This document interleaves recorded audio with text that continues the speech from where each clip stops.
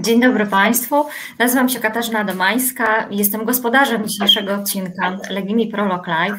Bardzo się cieszę, że z nami dziś e, taki gość, Nina Lykke, e, prosto z Norwegii. E, I spotykamy się, ponieważ będziemy rozmawiać o książce, która dziś właśnie ma swoją premierę. Ostatnie stadium, tak wygląda okładka. Wydawnictwo Pauza. Książka ukazuje się również w formacie e-booka i audiobooka. Wspaniale czyta tę książkę Beata Olga Kowalska. Zapraszam do odsłuchania. I Zanim przejdziemy do naszej rozmowy, chciałabym też przywitać i podziękować Taidzie, która będzie nasze spotkanie tłumaczyła. Dzień dobry, Taida. Dzień dobry. I witaj, Nina. Hello, Nina. Hello. I drodzy Państwo, przedstawię Ninę, ponieważ część z Państwa Ninę zna, dlatego że już wydała jedną książkę. To było dwa lata temu, trzy lata temu, ale dla części z Państwa będzie autorką nieznaną, a chciałabym, żebyście ją poznali. To jest właśnie ta okazja, by Ninę przedstawić Państwu. A zatem Nina Lykke zadebiutowała w 2010 roku zbiorem opowiadań, ale przełomowa w jej karierze literackiej okazała się trzecia książka, Nie, po prostu nie. Wydało ją wydawnictwo Muza w 2018 roku. W Norwegii osiągnęła nakład ponad 80 tysięcy egzemplarzy i została wyróżniona Nagrodą Krytyków Młodzieżowych. Kolejna powieść to właśnie Ostatnie Stadium. Zdobyła w 2019 roku najważniejszą norweską nagrodę literacką i została też uznana za najlepszą książkę roku przez największe skandynawskie dzienniki. Prawa do tego tytułu zostały sprzedane do 18 krajów. Polskie wydanie jest jednym z pierwszych. Jeszcze raz, tak wygląda książka. I moje pytanie e, przewrotne do Niny.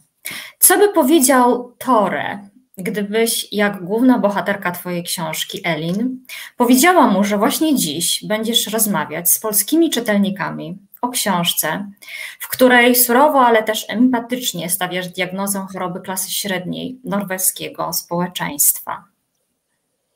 So the question, the first tricky question uh, to Nina, to you, uh, what would Tovi, if I'm pronouncing correctly, Tovi say, Tuve, uh, if you, like the main character of your book, Ellen, told him that today you will be talking to Polish readers about the book, in which, in a severe, harsh, yet uh, quite empathetic manner, you're diagnosing the illness or the disease of the middle class uh, uh, in Norway?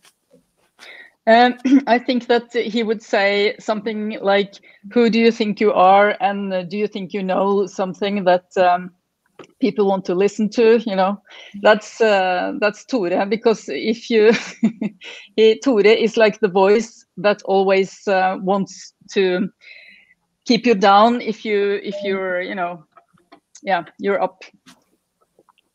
No, wydaje mi się, że powiedziałby, no co ci się wydaje, że kim ty jesteś? Czy ci się wydaje, że to coś wiesz, że ty coś możesz im powiedzieć, ponieważ Tove, czyli Tywe po norwesku jest tym takim głosem, który stara się ciągle ściągać nas w dół. Mhm. Ale Tore to jest bohater, taki cichy bohater książki, Tory to naturalnych rozmiarów model ludzkiego szkieletu. Stoi w rogu między umywalką a drzwiami. Wykonano go z plastiku i to on jest jedynym świadkiem tego, co tu się w środku dzieje. Kiedy go kupiłam, włożyłam mu dla zgrywy na głowę czarny męski kapelusz. Było to jeszcze w czasach, gdy przejmowałam się takimi głupstwami, rolą humoru w relacjach lekarz-pacjent, znaczeniem śmiechu dla procesu zdrowienia. Zatem Tore jest mieszkańcem e, gabinetu, w którym przyjmuje pacjentów Elin, główna bohaterka. E, trafiła tam dlatego, że mm, postanowiła zamieszkać e, w tym miejscu z racji tego, że okazało się, że zdrada wyszła na jaw.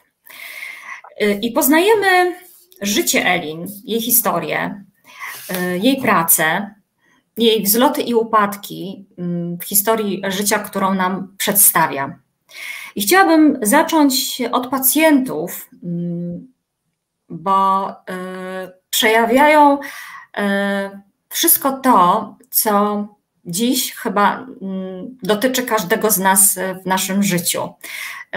Jest to opowieść o ludziach z różnych środowisk, którzy przychodzą ze swoimi problemami, ale jest to też obraz społeczeństwa w systemie państwa opiekuńczego. Może zaraz, zanim zadam pytanie, Taido, poproszę Cię, żebyś mhm. nakreśliła, Just, just okay. in short, uh, uh, Kasia read an excerpt from your book about Tore, yeah. and uh, she was explaining that we meet Tore because we uh, we go into this uh, um, doctor's room where actually Ellen has moved due to the fact uh, that her betrayal or her affair came to light. Uh, and this is also a place where we meet a lot of patients, and and those patients uh, uh, have a little bit uh, of all of us uh, in them, and uh, they they have the story about all of us, and the story also about the society, about the people from the society. Um, to chyba tutaj skończyłaś, Kasiu, mm -hmm. tak? Mm -hmm. Zatem weźmy przykład pacjenta, który przychodzi, e, bo chce mieć zrobiony rezonans. E, I dziś mm, słuchamy swojego ciała, podchodzimy do chorób holistycznie, ale mm, bohaterka podkreśla, że to tak naprawdę stanowi drogę na skróty do szaleństwa i cierpienia, ponieważ chcemy zatrzymać młodość, chcemy e, ciągle być niezniszczalni i wyjątkowi. wyjątkowi. E, chciałam zapytać, mm, skąd e, taka diagnoza i jak sądzisz, do czego nas taka postawa doprowadzi, albo z czego też taka postawa się bierze? So, for for instance, there is a patient uh, who comes there to see her, and uh, and and he wants an MRI uh, done. And uh, mm, it is true that nowadays we are approaching our own health in this more of a holistic uh, man- manner, and it's become fashionable to kind of listen to our own body. Uh, but uh, maybe this is also a shortcut uh, to madness and to being unique. Uh, so I'm wondering, uh, and I want to ask you, uh, where does this diagnosis come from, and what this might lead to? yeah. So on one hand, what are the causes, and what could be the effects of that? Um, I don't really understand the question. Um, you mean I, I, I, mean, when I wrote the book, I thought about the um, the welfare that we have now in the Western uh, world, uh, and I, I think it's also like that in Poland. Even though Norway is a richer country, maybe than Poland, uh, all of us in the northern and Western Europe uh, have this welfare, and I, I was curious as to if this is a good thing, if this is only a good thing, or if it if it can lead to neurosis. Mhm. Nie do końca rozumiem pytanie. W każdym razie, kiedy pisałam książkę, to myślałam właśnie o takim państwie opiekuńczym, tak? O tym, że mamy tą całą opiekę, tak? E, I wydaje mi się, że e, podobna opieka, e, to, to państwo takie opiekuńcze, no to istnieje również w Polsce, może do innego stopnia, ponieważ Norwegia jest bardzo bogatym e, krajem w porównaniu do Polski. E, natomiast takie podejście państwa jest podobne we wszystkich zachodnich i, i północnych krajach. Zastanawiałam się pisząc, czy to jest zawsze coś dobrego, czy też może prowadzić właśnie do takiej neurozy. Mhm. No właśnie o to chciałam zapytać, bo pojawiają się pacjenci, którzy domagają się różnych rzeczy i nie zdają sobie sprawę z tego albo nie chcą, że pewne rzeczy przychodzą z wiekiem. E, więc oczekują od lekarza, że im zapisze właśnie rezonans, czy kiedy okazuje się, że on jest niepotrzebny, czy jakieś tabletki, e, które tak naprawdę e, mają prawo mieć zapisane gdy w gruncie rzeczy problemem jest to, że za długo siedzą przy komputerze, że nie wychodzą na świeże powietrze, że jedzą fast foody. I to byłaby recepta dla nich. Natomiast oczekiwanie od tego systemu państwa opiekuńczego jest takie, że chcą tabletki, która zapewni im to szczęście, zdrowie i dobre samopoczucie. Yeah, because uh, th- this is exactly what I wanted to ask you. Because we have those patients uh, that come uh, to the doctor and they demand various uh, uh, things mm-hmm. mm, because they have right to demand and they expect, for example, the MRI. And if they don't get, let's mm-hmm. say, the MRI, then they expect that they're gonna get a prescription for uh, some kind of a pill because they have the right to get that prescription. and and in reality, uh, maybe the problem stems from the fact that they are sitting too long in front of the computer or they don't go outside enough. Uh, uh, but yeah. there is that expectation that this will be, there will be this pill for happiness or some other pill uh, mm. that, that will be prescribed. Yes. Uh, yeah, uh, we uh, we have reached very far uh, with the penicillin and with the MRI and with all other uh, inventions. It's not uh, a, a, death sentence anymore to get a heart attack, for instance. but on the in the same time, we ha have um, unrealistic expectations, in my view. So, and this is that's why I wanted to write about a doctor uh, because I think this, uh, uh, you know, um, what do you call it, family doctor or you know the basic doctor, mm-hmm. he or she uh, knows these things uh, better than anyone in the society. he or she has the finger on the pulse of the expectations of the people, and um, also we look outside for the happiness you know? We we, we always want to blame other people if some something bad happens to us. And if something good doesn't happen to us we want that goodness. We want the happiness and we want to find it outside. Uh, especially in norway this is true because we are so rich and we have such a you know a fat welfare state if you, if you like. But i think it's a little bit like this in poland too. I think uh, and of course in the in um, in all other like Germany, Denmark, all these welfare states. You know, in in a in a sense, you have also a welfare state in Poland. Uh, you also have uh, some some sort of uh, prosperity there now, at least compared to let's say 30 years ago. Yeah.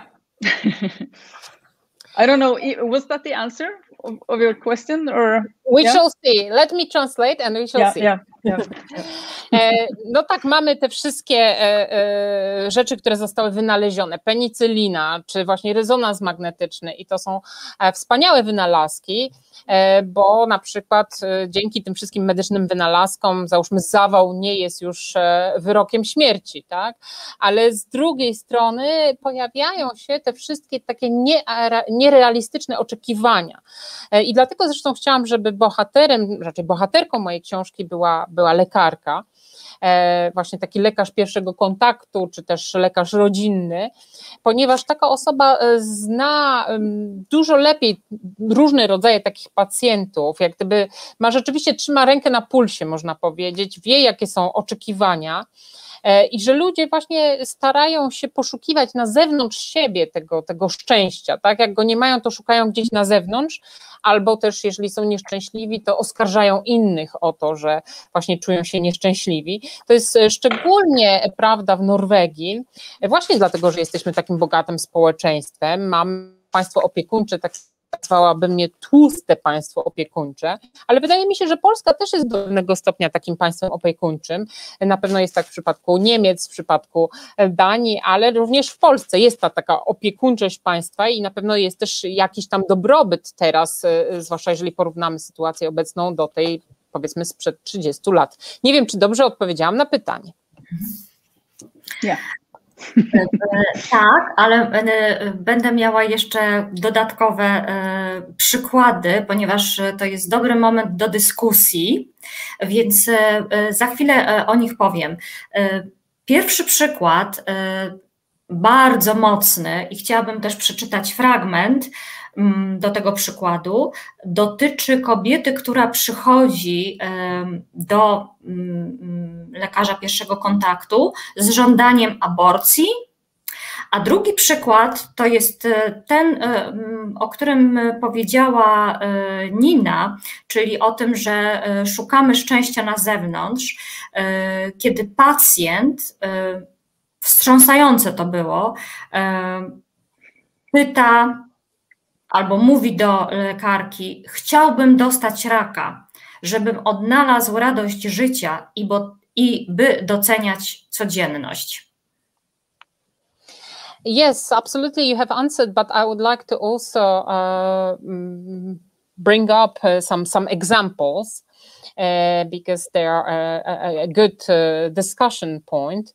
Uh, so I will read also some some more excerpts from your book uh, later, but I think that two good examples of, of such patients uh, mm. is uh, is the example of a woman uh, who comes to the doctor because she wants to get an abortion, mm. and the second one is the one that you actually have mentioned. Uh, mm, I mean that you are saying that people are looking for happiness outside of themselves. Uh, so there is this very striking, really, uh, example of patient who says that he would like to get cancer because maybe if he gets cancer uh, this this this could somehow change things for him change the way that he looks at his life. Um, is this from the last book? Isn't this from the uh, from uh, the other book? No it's from the uh, last one oh okay wow Sorry. Nina okay, pyta, czy yeah. to z ostatniej książki, a czy przypadkiem nie poprzedniej, no ale powiedziałam, że to z ostatniej, bo też czytałam przed chwilą. Ostatniej, ale e, okay. myślę, że poprzednia e, jest bardzo blisko tej, bo dotyczy też i kryzysu wieku średniego i różnych problemów, więc e, nic dziwnego, że te wątki się zlewają. Yeah, it's it's from the last one, but I think that uh, uh, if you talk about the previous book, it's very similar in a way because it talks also about the middle age crisis. So there are some themes and, and problems that yeah. converge, we could say. Yeah. Yes. Mm-hmm. Absolutely. Jak najbardziej. To ja przeczytam ten fragment, o którym mówiłam, i, i, i, wrócimy jeszcze do, do rozmowy. Fragment jest następujący. Przeprowadzam badanie ginekologiczne i robię USG, stwierdzając, że pacjentka jest w ósmym tygodniu ciąży. Jednocześnie przed moimi oczami przemykają nagłówki gazet. Odmówiono jej aborcji i śródtytuł. Lekarka rodzinna twierdzi, że jestem za stara. Kobieta w końcu wychodzi, a ja sprzątam gabinet i siadam z powrotem za biurkiem. Uderza mnie nagle, że zdanie mam do tego prawo jest tym, które drażni mnie najbardziej w całym języku norweskim. E, I właśnie to zdanie, e, mam do tego prawo. Czyż to nie jest absurdalne, że wykorzystujemy to zdanie e, tylko dlatego, że wiemy, że mamy do tego prawo, a nie szukamy prawdziwych powodów, dla którego mielibyśmy coś zrobić, czyli podjąć jakąś decyzję o swoim zdrowiu, o swoim szczęściu. Wystarczy to, że mamy prawo. So Kasia read an excerpt from your book, uh, um, which talks about uh, about uh, the, the, the lady I think getting pregnant, and then she says at a certain point, "I have the right to that. Yes. I have a right yes. for that." So yeah. Um, I am wondering uh, if, if if this statement or this conviction that we have the right uh, to that or to get that is not uh, somehow obscuring the the, the true reasons. E, e, Kasiu, czy mogłabyś powtórzyć ostatnią część, czyli że to przesłania te prawdziwe przyczyny tak, prawdziwe przyczyny, dla których e, podejmujemy te decyzje. Jeszcze, so the jeszcze true reasons for which we take these decisions actually. I jeszcze jest, dopowiem tylko, bo w tym przykładzie ważne jest e, to, że pacjentka ma 40 lat i że to jest e, jej pierwsze dziecko, a ona e, chce dokonać aborcji, dlatego że mhm. zaplanowała wycieczkę. And I, I, I, wanted to add also that in that example, it's very important that the patient is 40 years old and she wants to get an abortion because she has planned a trip. She's 39. But uh, 39 lat. Yeah. yeah. She's 39 and she planned the trip and uh, you know uh, all these stories are from real life i talk to doctors and uh, of course uh, they are an extreme uh, more or less extreme examples but um, they happen and they are uh, a very good example of uh, our expectations that life is supposed to um, sort of get in line with all our wishes at one time or another you know? And it's life uh, is supposed to get in line with our wishes and not the opposite. That's what i uh, thought about when i wrote that you know? And i think that's sort of a curse for us existentially that we have all these uh, choices. Of course i'm you know i'm for abortion. I think abortion should exist but everything can be misused and all our liberties are uh, are often misused because of uh, this uh, i don't know a greediness. It's a sort of a greediness you know? Tak, ona ma 39 lat y, i rzeczywiście zaplanowała e, wycieczkę y, i w związku z tym e, y, no tutaj ta ta ciąża jej przeszkadza, ale y, chciałam powiedzieć, że wszystkie te przypadki, wszystkie te przykłady, które pojawiają się w książce, e, one są przykładami z życia. E, one pochodzą z moich rozmów z lekarzami. To są oczywiście takie e, przypadki jakoś tam skrajne, natomiast jak najbardziej prawdziwe, to się zdarza. E, chodziło o zilustrowanie właśnie tej sytuacji, że my mamy pewne oczekiwania, e, ale pojawia się życie, tak? I my uważamy, że to życie powinno być dopasowane e, do naszych oczekiwań, do naszych pragnień, tak? A nie odwrotnie. I tutaj w pewnym sensie jest to takie nasze egzystencjonalne e, przekleństwo, że mamy aż tak wielki wybór, tak, że możemy tak wielkich, tak różnych wyborów dokonywać, bo no, ja na przykład jestem jak najbardziej za aborcją, to znaczy uważam, że aborcja powinna być dostępna, e, ale czasami się zastanawiam, czy te wszystkie nasze prawa i wolności, no nie są nadużywane, tak? E, e, że nie doprowadza to wszystko do e, niewłaściwego wykorzystania tych wolności. I, przyczyną tutaj jest jakaś taka wielka chciwość. Mhm. Uprzedziłaś mnie trochę, Nina, ponieważ chciałam zadać pytanie, ale mm, pogłębię e, już to, co powiedziałaś, e, a mianowicie chciałam e, zapytać o te historie, ponieważ są bardzo różne, dotykają wielu problemów ludzi w różnym wieku. Mm, I właśnie chciałam zapytać o ten warsztat, czyli jak się przygotowywałaś do tego, żeby te mm, opowieści zebrać? Czy byłaś w jednym miejscu, czy odwiedziłaś wiele mm, wiem, szpitali, przychodni, e, czy przeprowadzałaś wywiady również z pacjentami. Gdybyś mogła e, trochę o tym opowiedzieć, dlatego że e, w książce te przykłady są bardzo szczegółowo zarysowane, tak jak to ty byś była lekarką. You have actually uh, started to answer uh, another questions of mine, but I would mm-hmm. like to go deeper uh, because the stories that you describe are so varied uh, and mm-hmm. Uh, they're about so many patients in different ages. Uh, and I was wondering, how did you prepare yourself actually to, to describe all this? Did you just go to one place or to, did you go to various places, to hospitals, outpatient clinics? did you also talk to the patients? Uh, uh, to be able to get so many details in in those descriptions in those uh, stories. Hmm.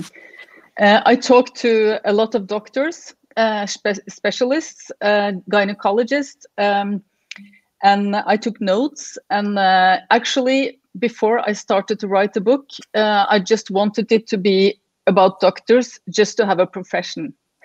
But then I discovered all these stories and then uh, the doctor part of the story sort of um, uh, expanded. So uh, because i got i was so shocked about, about the stories i heard. So i had to write more about that. And then i started to see more doctors. And then the this doctor thing was uh, that's why i called it a doctor novel in you know uh, in norwegian. Yeah. E, no, rozmawiałam e, z lekarzami, z różnymi specjalistami, na przykład z ginekologami, e, robiłam notatki, ponieważ początkowo postanowiłam, że to będzie właśnie książka o lekarzach, tak? To znaczy, że po prostu bohaterowie będą mieli ten zawód, tak, zawód lekarza, ale później odkryłam właśnie te wszystkie opowieści o pacjentach, które mnie zafascynowały, też zszokowały mnie bardzo i stwierdziłam, że muszę to wszystko w tej mojej książce ująć i zaczęłam się spotykać jeszcze z kolejnymi lekarzami i zresztą no, nazywam tą książkę taką książką powiedzmy lekarską, tak, tak, tak w języku norweskim ją określam, po, powieść lekarska. Mhm. To może dobrze, że bohaterką jest jedna lekarka, Elin, której życie poznajemy, jej trudy, e, nie tylko zawodowe, e, ale również osobiste. E, Elin bardzo pilnuje się, jak sama twierdzi, i mm, potem, po zakończeniu pracy, musi się znieczulić, jak mówi. Mówi: Teraz moja kolej. Ja mam tutaj taki gadżet. To jest duży kieliszek, e, a ona uważa, że e, pije w kieliszku, który jest e, jak akwarium na rybki. I znów poruszasz ważny temat tego znieczulenia. Ona pije wino, ogląda namiętnie seriale. Czy to y, jest y, też taka, y, taka obserwacja naszego życia, że potrzebujemy takiego znieczulenia na koniec dnia, by móc następnego dnia ubrać się, pójść do pracy i wykonać swoje obowiązki. Yes, and uh, the protagonist of your book uh, uh is, is one doctor, Ellen, um, mm. who um, has a lot of difficulties, both in her professional and her um, personal life. Uh, but she's making sure to, to, to, to, you know, trying to do everything right. But at the end of the day, she needs her anesthesia, uh, as you call it. Uh, she goes home, and uh, Kasia just showed the gadget, which is the important gadget for, for the evening. This huge uh, wine glass, uh, yes. which is described to be a fishbowl uh, so, so, so, so she's there with her wine of glass and she's watching TV series. And uh, I was wondering, do we need something like that? To do we need that to unwind at the end of the day of a difficult day? That we just need that anesthesia. Um, I was talking to one doctor, and he said that uh, when I come home, I need to go to the basement and watch two episodes of Breaking Bad in order to just oh to you know uh, be a, a dad and mm-hmm. uh, forget the patients. And i think that uh, as a doctor in norway today uh, you have to be very empathic. You have to be very um, sympathetic to listen to the patients to understand them to see them. All all these things that you didn't really have to do 50 years ago. Uh, but now you you have to be sort of a social worker at the same time as a doctor.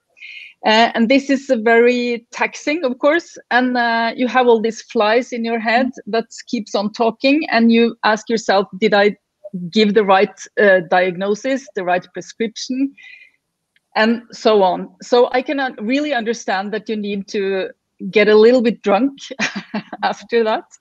Um, but of course, uh, my uh, protagonist, Elin, she drinks too much.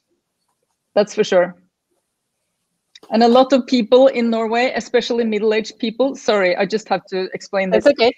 Yeah, a lot of middle-aged people, we buy these uh, cartons of wine, like in, you know, paper. You have that in Poland too.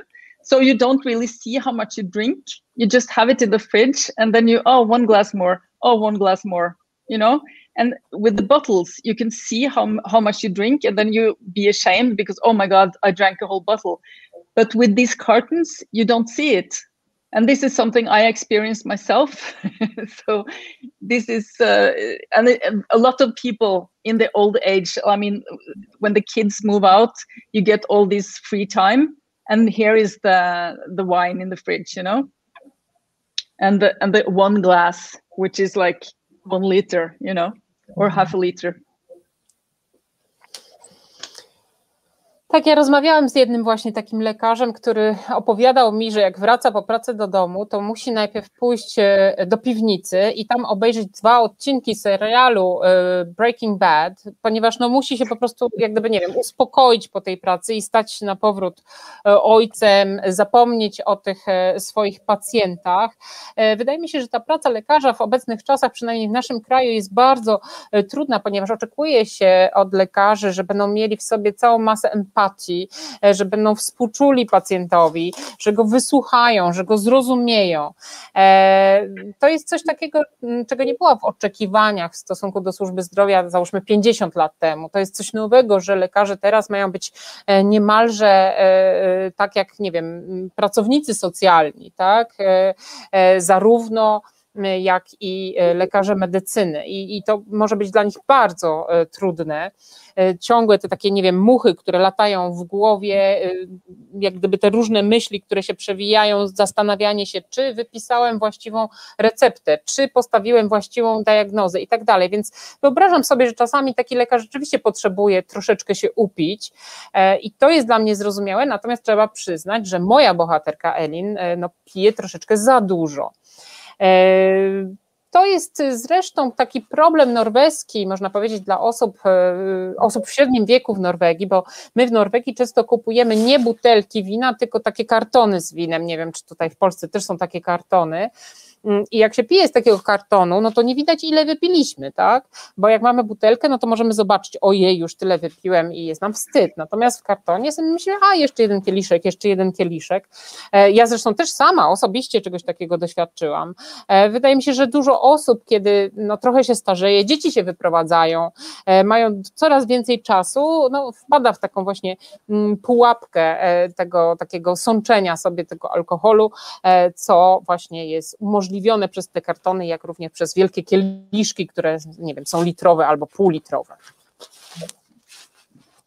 Mogę dodać tylko komentarz, że mm, gdybyś Nino e, swoją bohaterkę opisała mm, trochę później, czyli e, rok później, e, wtedy kiedy zaczął się COVID, e, to myślę, że ta sytuacja wyglądałaby zupełnie inaczej, ponieważ badania pokazują, i to chyba światowe, że ilość wypitego alkoholu dużo bardziej wzrosła właśnie w COVID-zie I can only comment that if you would have described your uh, protagonist, uh, Nina, one year later compared to when you did, uh, this would be uh, already uh, uh, during COVID. And mm. and the situation would look quite different because I think that the world research and surveys show that the consumption of alcohol went significantly up during that period. Mm -hmm. yeah but my my protagonist stops drinking you know? She stops. So she she really doesn't drink anymore. Ale moja bohaterka przestaje pić także ona już nie pije. Tak, ale popada w inny nauk, ponieważ twierdzi się, że jeśli przestajemy rezygnować z jakiegoś innego nałogu, wpadamy w inny nauk. No i tu dotykamy y, sprawy bardzo ważnej y, w książce, czyli y, zdrady i tego, jak do tej zdrady dochodzi. E, a dochodzi przez przypadek, jak to zwykle, wtedy, kiedy e, Dina mm, zaprasza swojego e, byłego chłopaka, naciskając przycisk w telefonie i zapraszając go do znajomych na Facebooku. Nie widzieli się od 30 lat, nawiązują ponownie znajomość, no i są konsekwencje tej znajomości. I znów poruszasz ważny temat. Zdrady w ogóle, e, mm, jako też takiego przejawu kryzysu wieku średniego, ale też tego, e, czym e, są dla nas dziś social media i telefony komórkowe. Yes, uh, so she gives up on one addiction, but there's another addiction lurking because, as they say, you know, you cannot give up on all addictions. You just kind of jump uh, straight into another one when you give up on one. Uh, so we come to the subject of betrayal of, of that affair that uh, Anine has. So by accident, she touches some button in her phone and she invites her former boyfriend to become uh, her I don't know, social media or Facebook friends. Uh, they haven't seen each other for 30 years. Uh, and the consequences uh, of, uh, of that uh, action are dire. So um, I'm wondering about this subject exactly, this middle age crisis, uh, the, the, the, affair, the betrayal. And also another thing which is quite important is the uh, the meaning, the significance, or the power of, of social media and uh, and mobile phones. Yeah. Uh, yes, I mean, where do I start? Uh, it's uh, it's there are so many people who have looked up old flames, old boyfriends, girlfriends, and this is very powerful because this is people who know who knew you when you were young and who still remembers you when you were young and vice versa. You remember them when they were young you know? You sit there and feeling old and then someone comes and you know. So this is just one part of social media um, because social media is a sort of a fourth dimension you know in the in the lives in our lives. It, it has come in now the last maybe 10 years and it has had a huge impact on uh, on what we know about each other in a way and you know in the facade and all this. So i think there is just so much um, what do you say material there. There is so much material for writers in this uh, social media.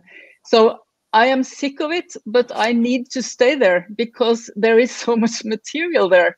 And I, I myself i have pressed buttons and I, i've added people but I didn't. I, I thought they added me, and then it turns out I added them. You know, so this is very typical of people. You know, 50 plus age. We don't really get it.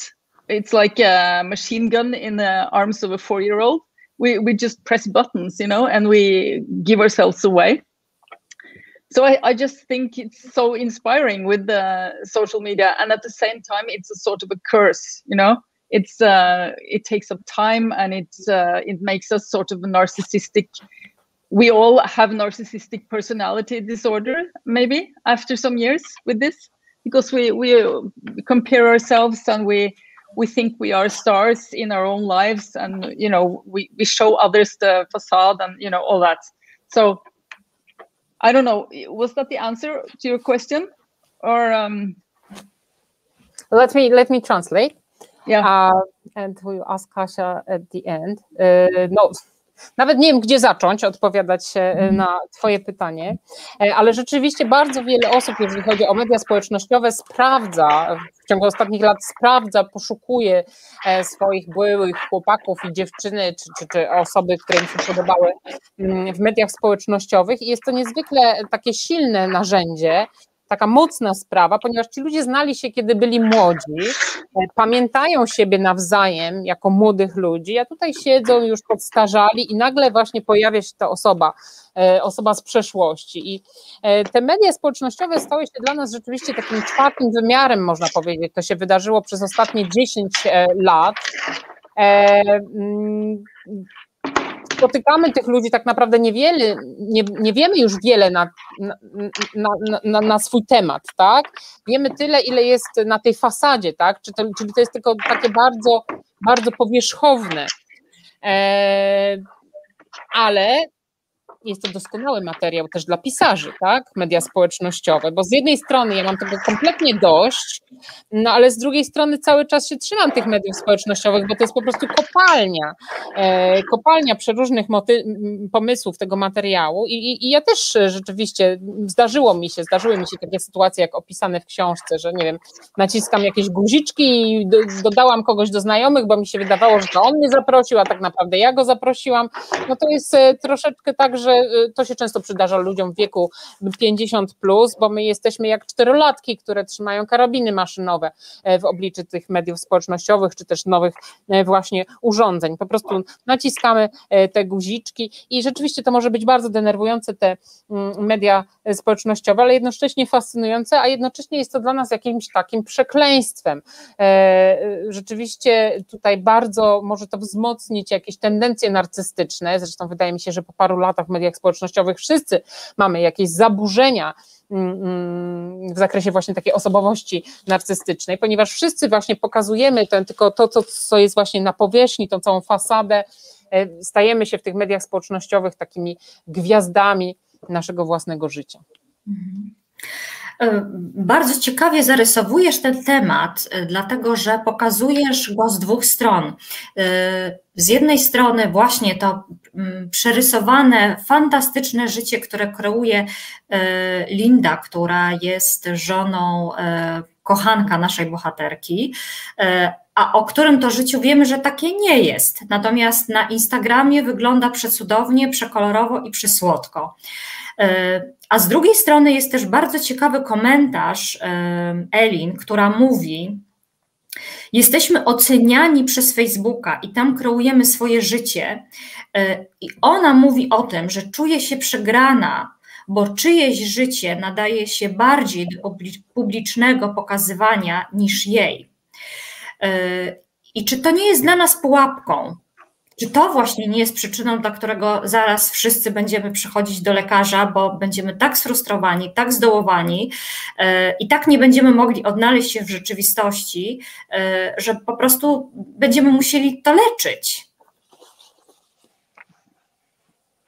This is an interesting subject that you're approaching from two sides uh, uh, in a way, uh, because on one hand, uh, we are really doing the, this pretending a lot, uh, and uh, we are showing this fantastic life that we are leading. And the example of that is Linda, who is the mm. the, the wife of, of the lover of our protagonist, mm. of our hero. And yep. she shows her life on Instagram, and everything is lovely and everything is colorful, while we know that it is not uh, uh, so beautiful as it might uh, seem. And on the other hand, we have this commentary from uh, Ellen, uh, who's wondering about being evaluated. yeah, yes, she says something like that we are judged by Facebook, and so we create uh, our lives and uh, we feel like losers because someone else's life is more suitable for public uh, display than ours. And I'm wondering mm. if uh, if this is uh, kind of a trap for us that maybe in some years we will all become so frustrated with it, uh, with not being able to keep up with all that, that we'll all have to start treating ourselves medically treating ourselves from that. Yeah. yes, yeah, maybe uh, we we have unleashed something that we don't really uh, understand the consequences of, the consequences of, you know, and so but but I still think it's very inspiring uh, because. Um, you know if you put something out i never put something out on facebook because it's so revealing you know? If people put something out on facebook it's very easy to to understand exactly what they want to achieve. And this uh, gives the game away in a way you know? It's so so i get very touched because people try to be so much better and so much more interesting you know? And and we all we are all in the same boat in a way you know? So this is i think it's also touching. But i also to to your question about medicine, I, I you know, I think this is uh, sort of a deal with the devil in a way. You know, this Facebook, uh, Facebook, Instagram, TikTok, or whatever, the, all this uh, social media, because we we get tangled up in something that's not real life. You know, and it's very very tempting. It's like a drug, and also it's it has the same uh, psychological effects on the brain as a drug, or everyone says that with all these uh, red and green dots. You know? So i'm i'm very curious as how is this going to be in 10 or 20 years you know? Mm-hmm. maybe it's just uh, getting worse and worse and our brains are really starting to change in a major way. I don't know. I think it's a little bit scary. Yeah Tak, rzeczywiście, jak gdyby wypuściliśmy taką bestię e, w pewien sposób, e, e, uruchomiliśmy to i nie wiemy jeszcze, jakie będą konsekwencje, jeszcze tych konsekwencji nie rozumiemy, ale no nadal to wszystko wydaje mi się bardzo inspirujące. Ja osobiście niczego nie publikuję na Facebooku, ponieważ wydaje mi się, że, że za bardzo się odkrywam, tak? I że ludzie dokładnie mm, będą wiedzieli, jeżeli coś tam opublikuję, co ja chcę osiągnąć, tak? E, ta, takim e, moim postem, więc jak gdyby zdradzam e, wszystko o sobie, no ale wzrusza mnie to też bardzo, jeżeli ktoś to robi i widzę, że ktoś chce pokazać się z lepszej strony, z bardziej interesującej strony. No wszyscy jesteśmy jak gdyby w, w, jedziemy na jednym wozie, można powiedzieć i, i jednocześnie jest to właśnie takie wzruszające. Można powiedzieć też, że w jakiś sposób to jest taki pakt z diabłem z naszej strony, te wszystkie właśnie Facebooki, Instagramy, TikToki i te wszystkie inne media społecznościowe, e, ponieważ e, e, no, jesteśmy w to tak głęboko w te, uwikłani, a nie ma to tak naprawdę jak gdyby połączenia z naszym rzeczywistym życiem. To nie jest to rzeczywiste życie, to nie jest prawdziwe życie, natomiast jest to życie tych mediach społecznościowych bardzo kuszące i no, działa jak narkotyk. Zresztą bardzo wiele, e, e, wielu specjalistów to potwierdza, że ma to efekty takie narkotykowe, mm, psychologiczne te wszystkie, nie wiem, czerwone i zielone kropeczki, które nam się wyświetlają. Jestem bardzo ciekawa, co z tego będzie, nie wiem, za jakieś 10-20 lat, czy rzeczywiście się okaże, mm, że, nie wiem, nasze mózgi się zmieniły. E, to jest trochę wszystko razem przerażające. No i przerażające było y, mm, to dla Elin, która stwierdziła, y, że komórki y, są utrapieniem i że mm, to one wiodą nas na pokuszenie. No bo to za sprawą tejże komórki stało się to, co się stało, doszło do zdrady i, i tego, co się mm, po tej zdradzie działo. Nie będziemy też zdradzać Państwu e, całości książki, ale, e, ale to tak domykając ten wątek komórki.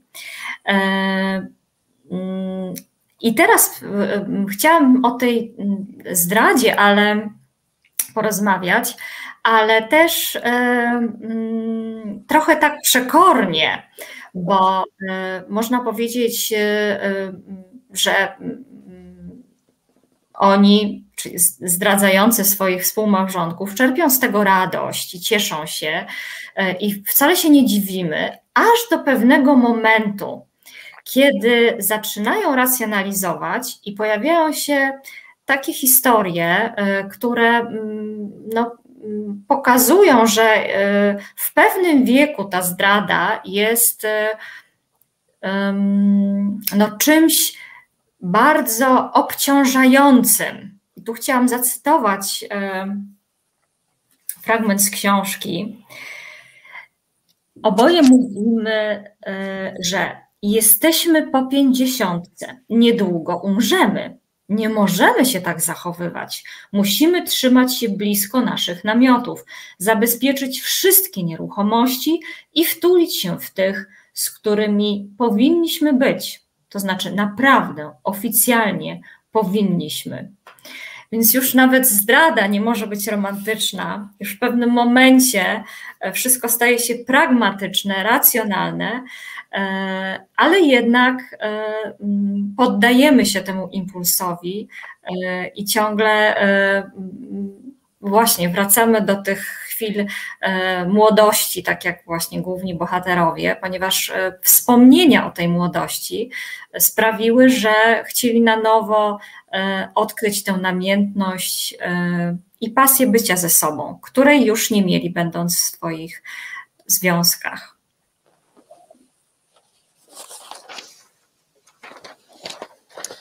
Uh, yes, it's uh, it's true that it's uh, it's a bit scary when uh, we're talking about uh, social media and mobile phones. And actually, uh, Ellen was saying something like that about mobile phones that there are those gadgets that lead us into temptation, and they are actually the reason why there is this betrayal, this affair happening. Mm but let's not betray the rest of the book maybe so i just wanted to close this subject of, of, yeah. of mobile phones and other gadgets uh, but the betrayal itself uh, if we could move to that um, well the, the, the, two protagonists uh, uh, they get a lot of joy from their meeting uh, but then they start to rationalize uh, and there is something in that story that an affair or the betrayal at a certain age is uh, very much burdening.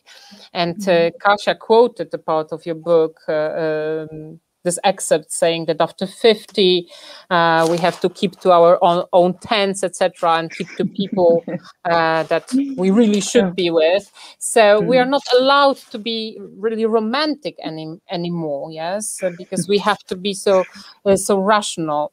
But mm nevertheless, this impulse uh, to have an affair, to, to, to live something appears, uh, and uh, and remembering the past and our youth uh, pushes uh, us to do that uh, because they do remember their youth, they remember their passion, and they want to discover this mm, this passion again because they don't have this passion anymore in in, in their marriages. Mm. Mm-hmm. And yes, because it's uh, physically impossible to have that sort of passion after 30 years, you know? So um, it's a very unfair game, actually, uh, to compare this uh, lover from a long time ago to the husband, you know?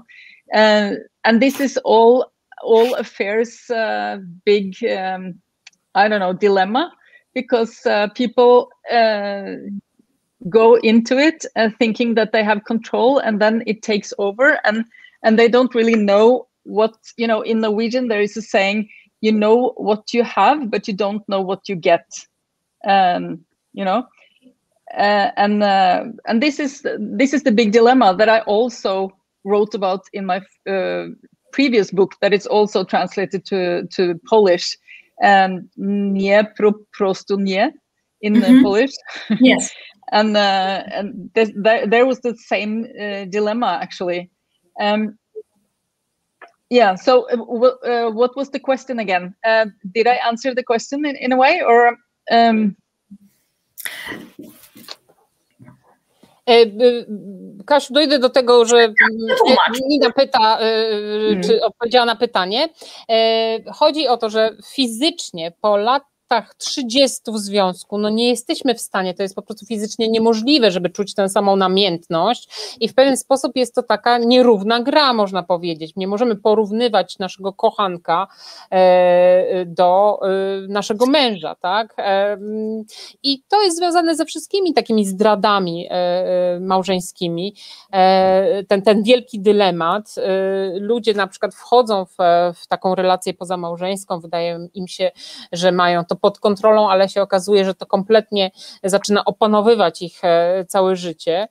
E, mamy takie zresztą powiedzonko, takie, takie przysłowie w, w norweskim, że e, wiesz, co masz, ale nie wiesz, co dostaniesz. Tak, tak, tak pokrótce można przetłumaczyć. I ten dylemat, to jest cały czas ten dylemat, zresztą, który opisywałam też w mojej poprzedniej książce, książce, która też została przetłumaczona na język polski. Ona jest po polsku pod tytułem Nie, po prostu nie. Mm, też dokładnie ten sam dylemat jest opisany, więc e, no nie wiem, Kasiu, czy odpowiedziałam na Twoje pytanie, czy nie i jakie było pytanie, już nie pamiętam. E, tak, e, pytanie właściwie będzie teraz, dlatego że to, było, to był taki wstęp do tego pytania. Chciałam zapytać, jak, jak ta historia tych dwojga ludzi, e, Twoim zdaniem mm, jest taką historią, która e, opisuje e, ten kryzys wieku średniego? Czy, czy on właśnie tym jest naznaczony zdradą, niespełnieniem, mm, w ciągłym poszukiwaniu czegoś, czego nam brakuje na co dzień? Czy to jest takie, czy to jest znak naszych czasów? Well, actually, the question comes now because that uh, uh, before that was the introduction to the question, and I wanted to mm-hmm. ask you if this story of these two people actually, mm, in a way, describes this middle age uh, uh, crisis, uh, which is kind of marked by by by affairs, by betrayal, but this uh, feeling on, of, of, lack of fulfillment. searching for something which is lacking in our life. Yes, I think maybe you can see uh, a, a, similarity between the patients that are seeking uh, ailments like pills or you know sick leaves or MRIs or anything with uh, affairs, you know, because you're always uh, you, you, we in the modern life we we are afraid to to uh, to uh, fear or missing out, you know, and uh, and we we are afraid uh, maybe we haven't uh, used all our opportunities for happiness you know? And this uh, goes also into the relations between people. So i think that uh, it sounds harsh but it's like uh, you know we can change the sofa we can, we can change the husband or the wife you know? It's a very very banal and simplistic way to see it but i think it's a little bit truth in it you know? I think we are um, we are in a bit in a way spoiled you know? And and at the same time we live we live when until we are 90 so we live a very long time compared to the stone age you know where we lived until we were maybe 30 or 25 or something. So we have all this time and and we have all this uh, well we are retired you know? We have time on our hands to to create troubles for ourselves. in Norwegian, it's a saying that you don't have more fun that you make yourself. And it's, you know, that's my favorite, one of my favorite sayings because it's so true, you know. Uh, I think we are bored. I think that's a very understated uh, way of feeling that we, we are very, we are bored, even though we have a billion films on Netflix and uh, we have Facebook and all that. And uh, even though we have all this entertainment and all these uh, opportunities for happiness, we are still bored, I think. And the bore boredom is, uh, we don't talk so much about it because it's a shameful thing to be bored when you have enough food and, uh, you know, a husband or a wife who doesn't hit you or drink too much or whatever. So, yeah. Oh, oh, poor translator, you have to start now. So don't worry. That's it. uh, Ja, ja widzę tutaj też e, takie podobieństwo, tak, e, pomiędzy tymi zdradami a tymi pacjentami, tak, którzy przychodzą e, po to, żeby, nie wiem, dostać tabletkę, czy żeby dostać zwolnienie lekarskie z pracy, czy żeby dostać skierowanie na rezonans magnetyczny. Mm, I tak samo mają działać właśnie te zdrady. W tym naszym współczesnym życiu ciągle się boimy, że coś nas omija, tak? Że coś przegapimy, albo coś przegapiliśmy, że nie wykorzystaliśmy wszystkich naszych szans, wszystkich naszych możliwości. To dotyczy też relacji e, międzyludzkich. E, I może to zabrzmi trochę tak e, oschle, no ale myślimy sobie, a może wymienimy kanapę na inną, na nową kanapę. I tak samo myślimy czasami o wymianie męża czy żony. E, jest to nieco takie banalne, nieco takie e, prostackie, ale wydaje mi się, że jest w tym e, sporo prawdy. Jesteśmy po prostu dość mocno popsuci, zepsuci, tacy rozpuszczeni. I mm, poza tym nasze życie trwa bardzo długo, bo żyjemy często do dziewięćdziesiątki, tak? E, w epoce kamiennej żyliśmy co do trzydziestki, może do dwudziestu pięciu lat, a teraz mamy cały ten czas do dyspozycji, jesteśmy na emeryturze i no po prostu w, możemy sobie troszeczkę narobić kłopotów. Ja mam takie moje ulubione powiedzonko znowuż norweskie, e, e, które tak pokrótce e, e, można przetłumaczyć, że najwięcej zabawy mamy wtedy, kiedy sami ją sobie tworzymy. I to jest rzeczywiście prawda. I takim znakiem naszych czasów, wydaje mi się, jest nuda. E, nuda jest dość e, poważnym problemem. Często się o tym nie mówi. Mamy, nie wiem, miliony filmów na Netflixie do obejrzenia. Mamy Facebook, e, mamy całą masę przeróżnych rozrywek, ale mimo to nadal jesteśmy znudzeni. I ta nuda jest właśnie czymś, o czym wstyd jest wspominać, ale pcha nas właśnie do robienia różnych rzeczy, właśnie dlatego, że, że, że, że, że się nudzimy. To a propos nudy, mogę Państwa zapewnić, że czytając tę książkę nie będziecie się nudzić ani przez chwilę. Książkę się czyta jednym tchem i to dobra okazja, żeby właśnie teraz ją przeczytać. Mamy długi weekend. Bardzo Państwa zachęcam. A jak lubicie słuchać audiobooków, to możecie posłuchać audiobooka, na przykład jadąc samochodem na długi weekend. Polecam gorąco. Nina, bardzo dziękuję Ci za spotkanie, za rozmowę. E, Taido, dziękuję za tłumaczenie. Bardzo dziękuję Państwu, że byliście z nami.